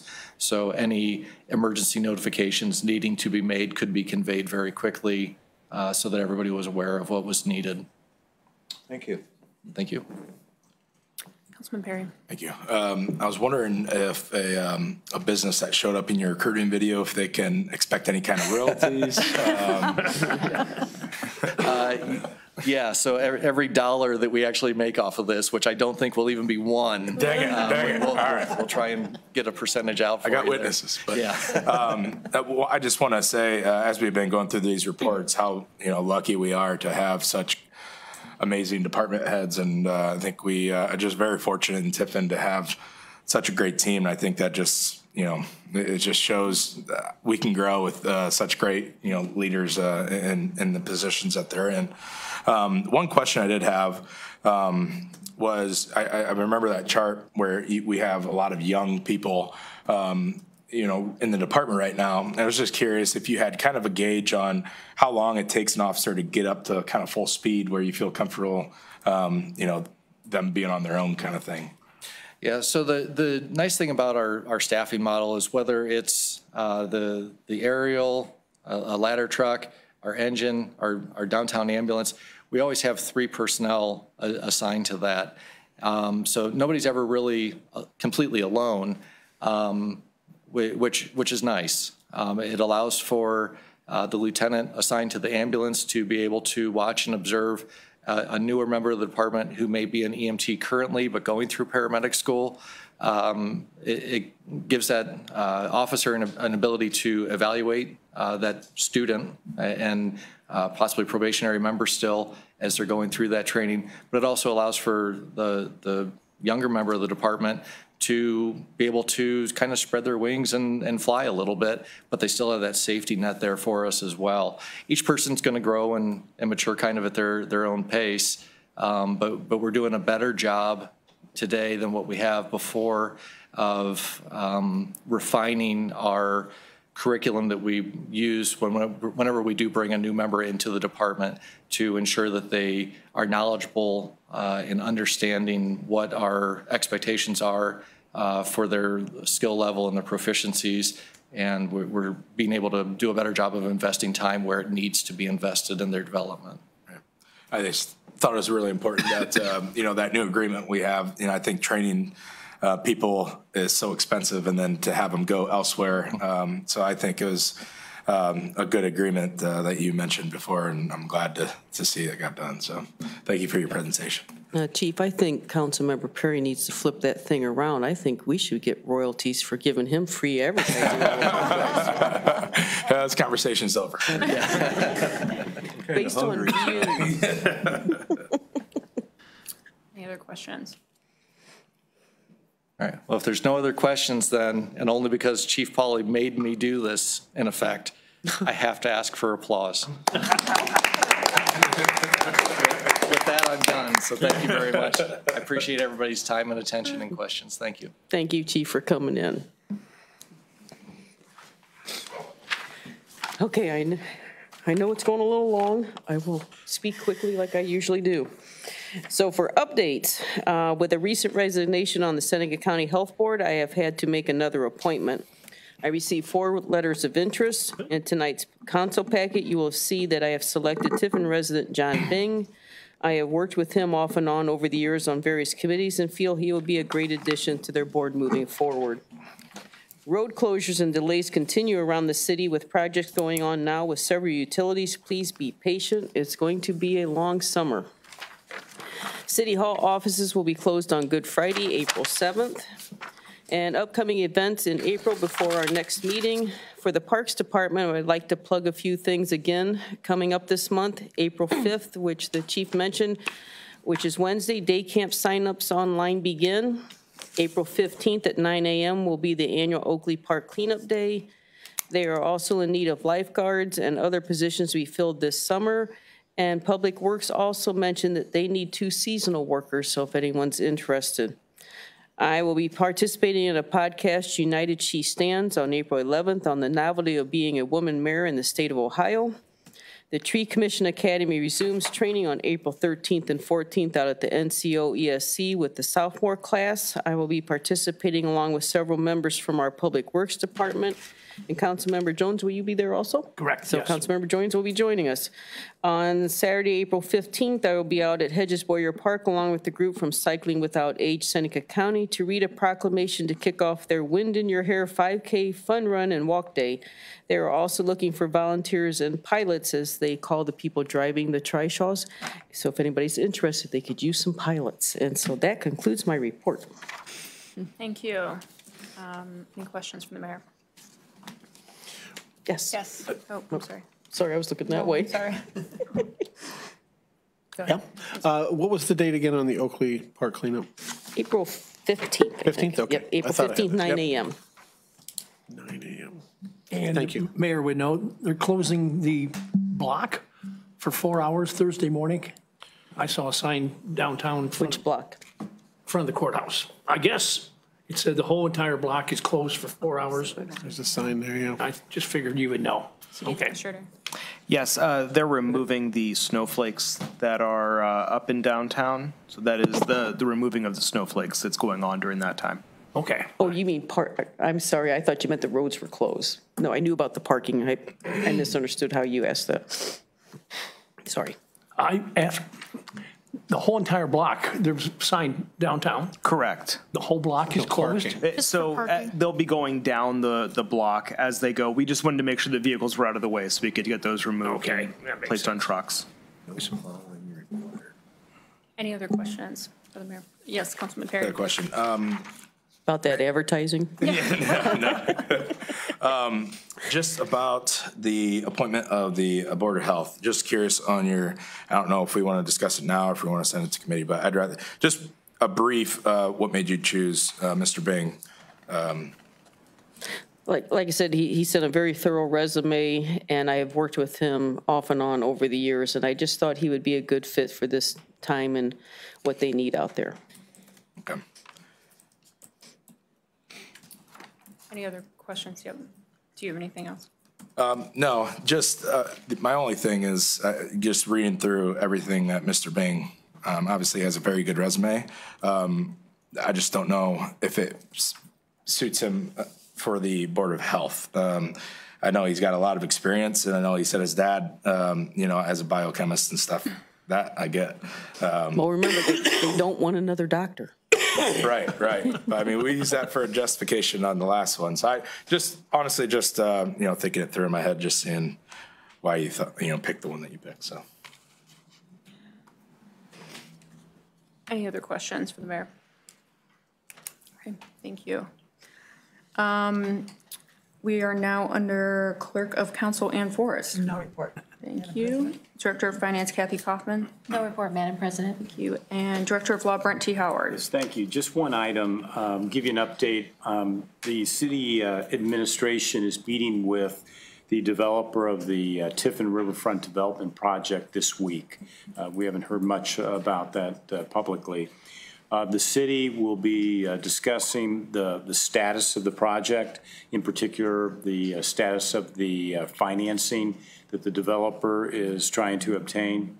And then also, we're going to continue the discussions, negotiations uh, regarding the developer's contribution towards the parking lot, uh, because the parking lot is going to be impacted by the project.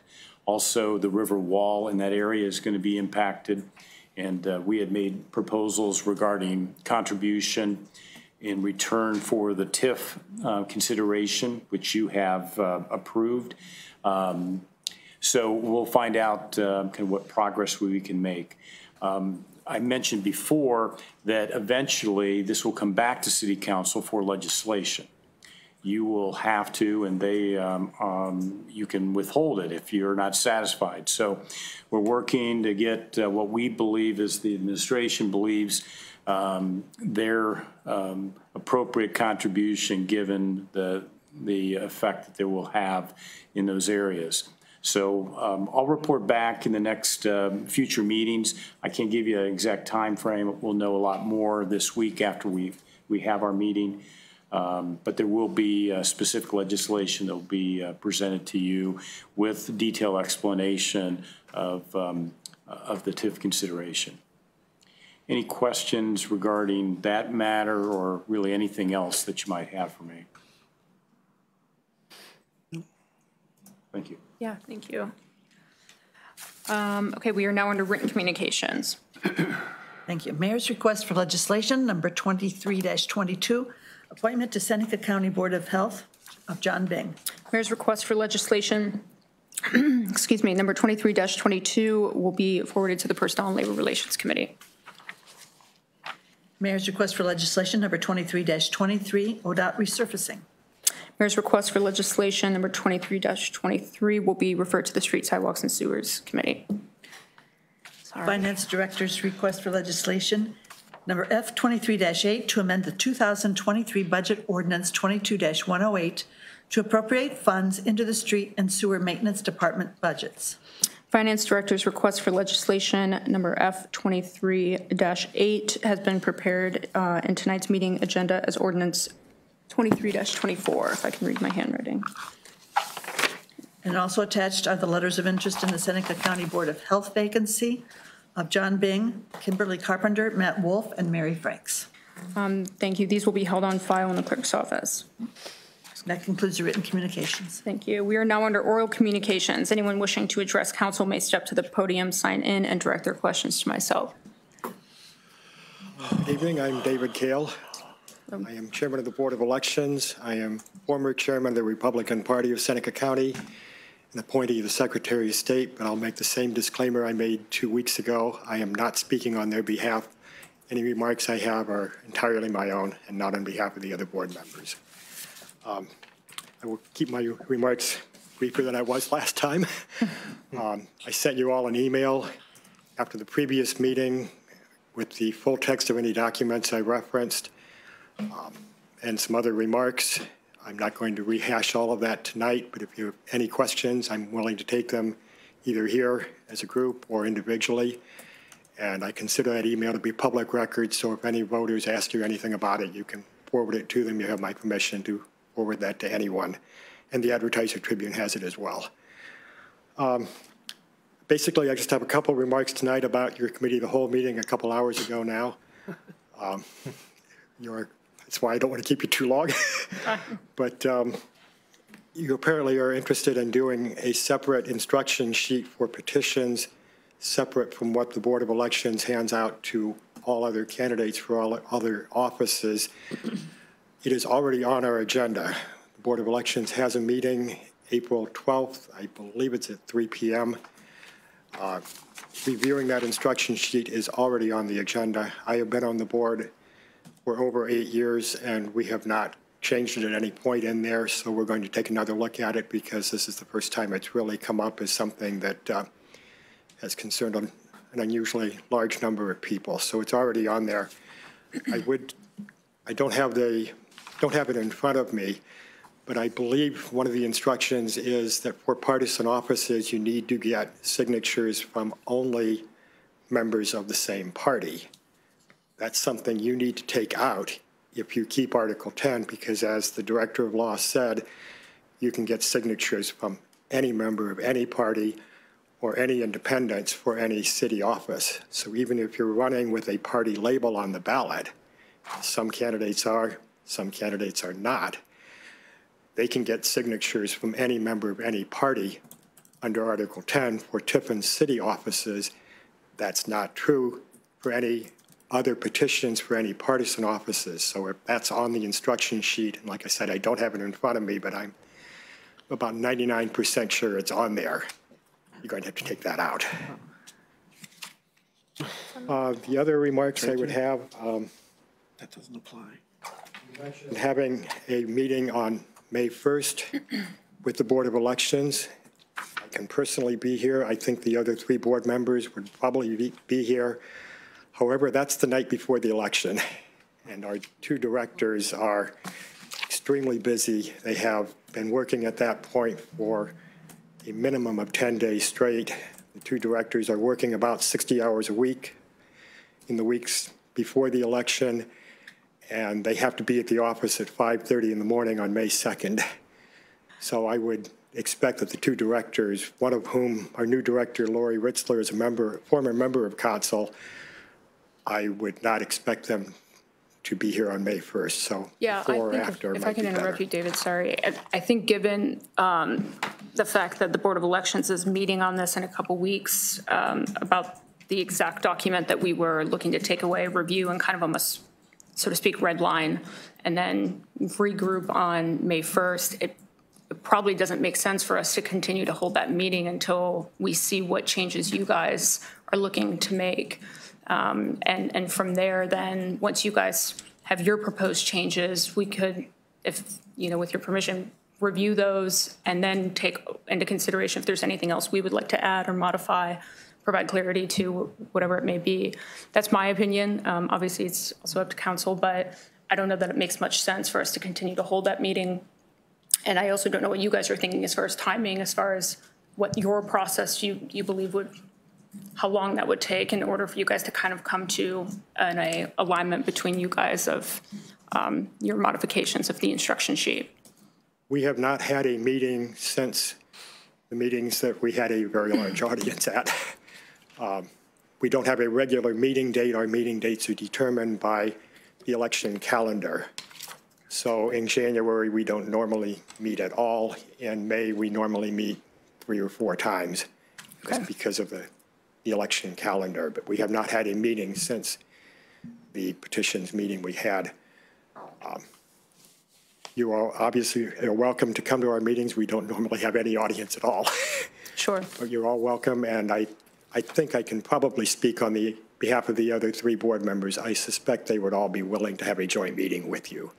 Okay. Would be surprised if, I mean, we have a brand-new board member who has not actually attended a meeting yet as an official board member, but I would be surprised if any of the other three board members would reject having a joint meeting. It's just, we would like to have our two directors there at the time, and May 1st would be extremely difficult for the For sure. directors. No, that makes sense. Um, I, I think it probably would make sense, again, this is my opinion, but happy to open it up to the group. But it would also probably make sense for you guys to have your own meeting.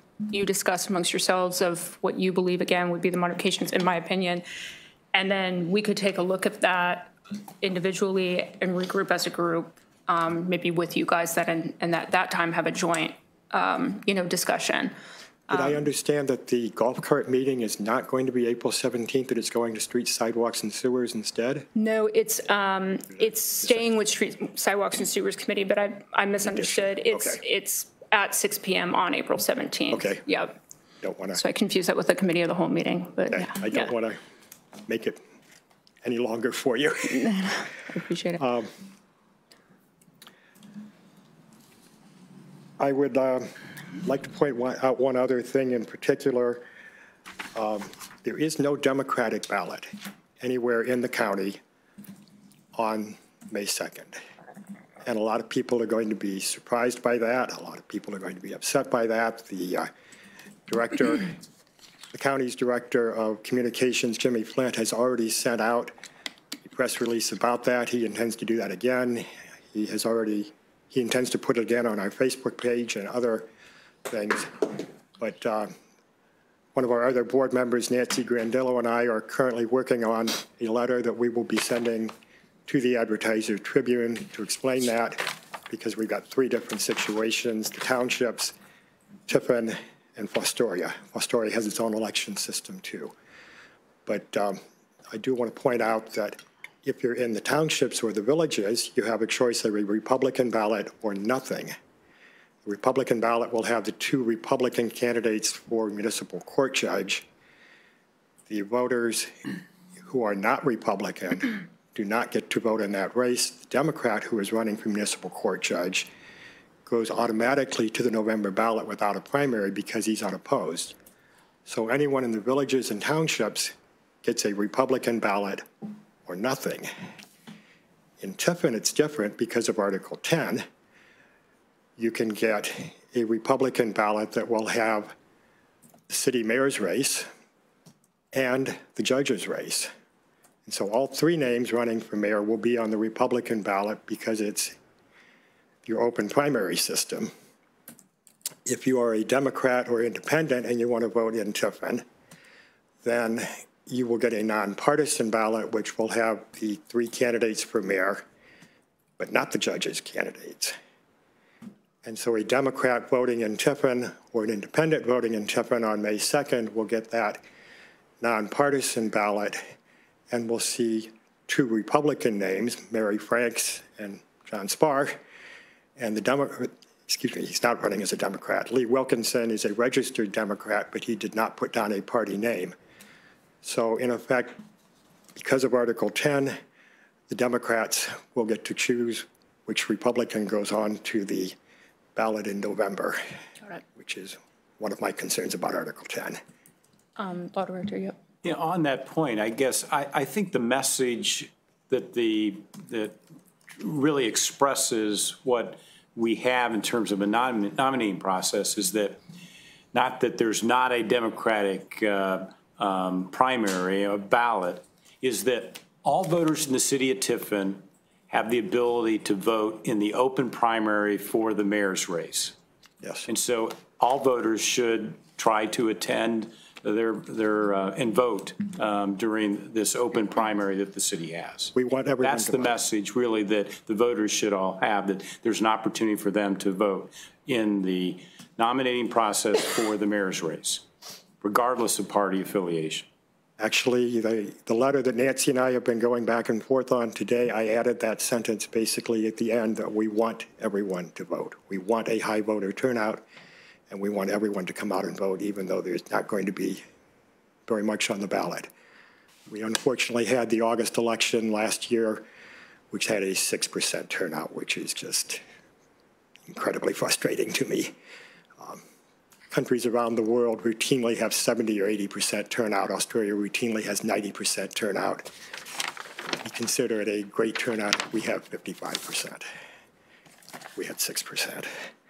David, if we could also go back, because I didn't um, allow the council members to weigh in on the, um, the process of the instructions sheet and the meeting on May 1st, that, again, in my opinion, I don't know if it makes much sense to continue that at that time. I think maybe we, we might need to push that based upon scheduling, but also seeing what comes back from the Board of Elections.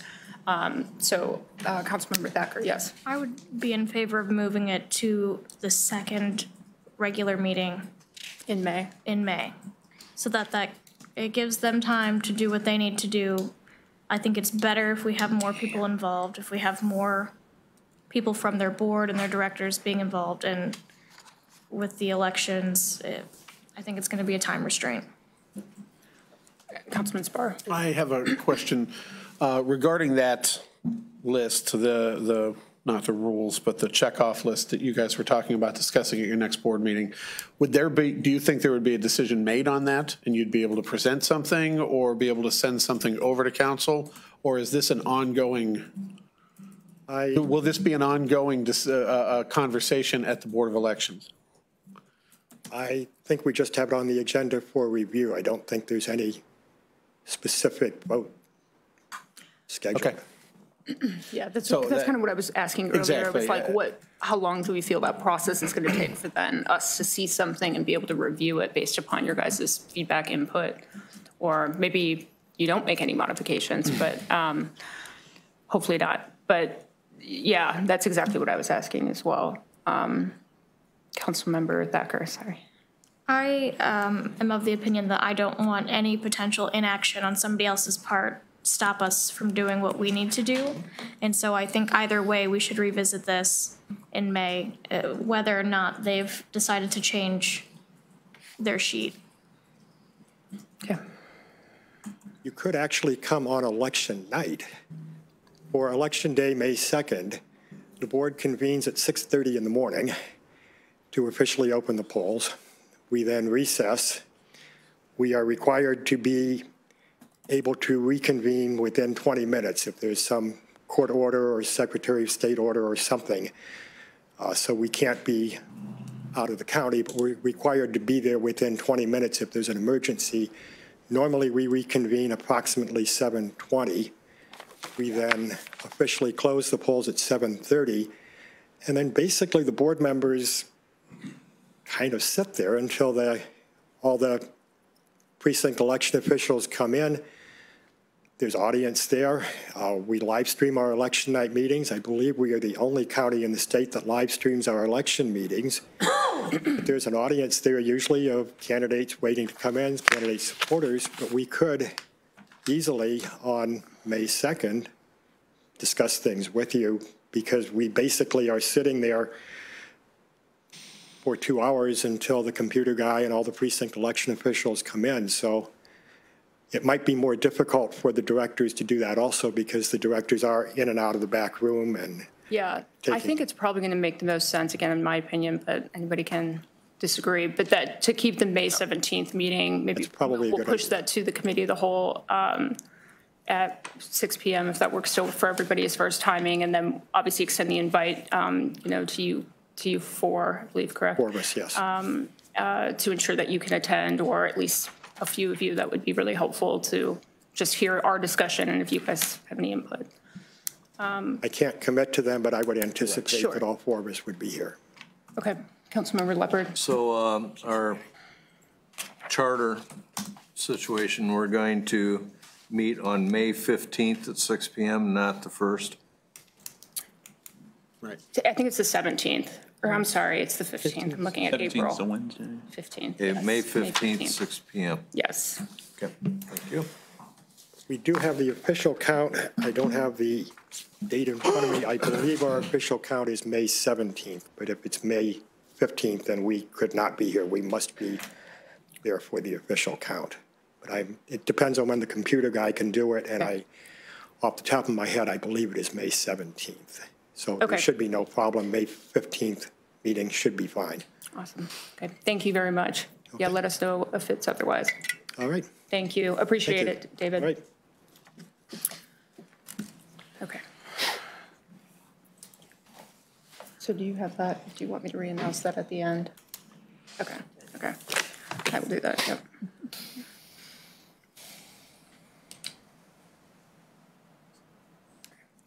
Okay. Um, Anyone else wishing to address council this evening? Okay. Uh, We are now under motions. Are there any motions this evening? Okay, seeing none, we are now under resolutions and ordinances.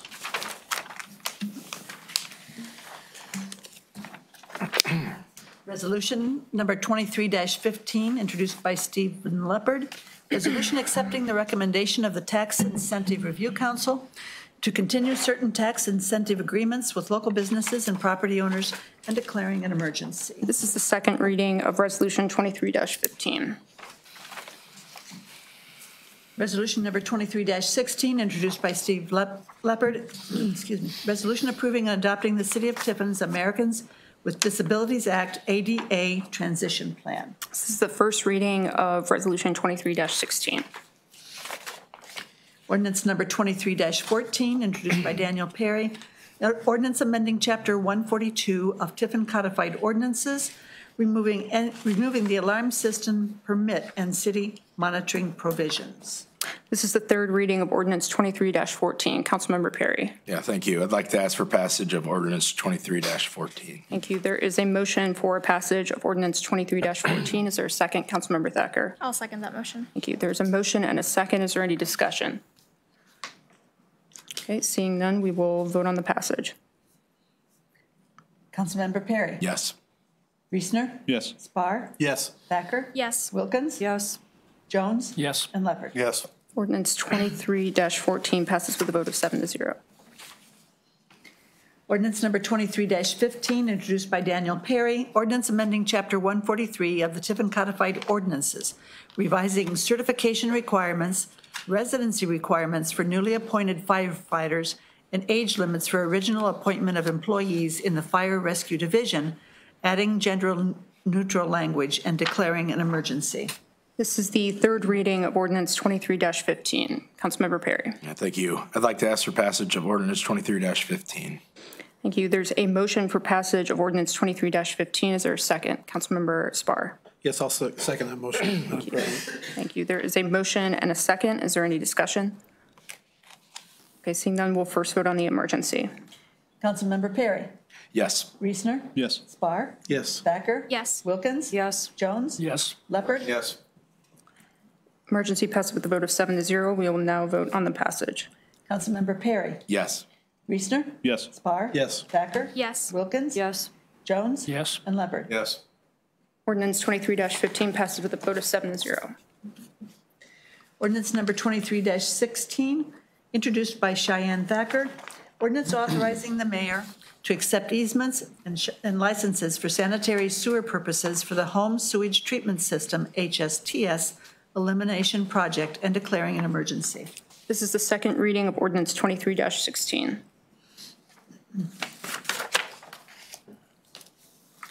Ordinance number 23-17, introduced by Cheyenne Thacker. Ordinance authorizing the mayor to accept permanent easements from R and L Zeiss Family Partnership 3 Limited for sanitary and storm sewer purposes in the Fairview Hill condominium development on Euclid Avenue in the third ward of the city and declaring an emergency. This is the second reading of Ordinance 23-17.